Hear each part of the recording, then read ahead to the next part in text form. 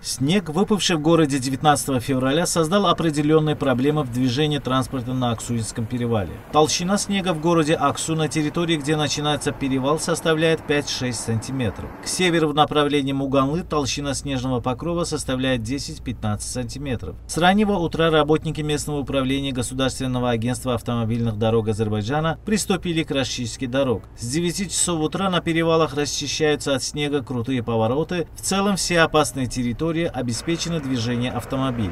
Шакир Гурбанов, Гумбат Мамедов, Азертаж.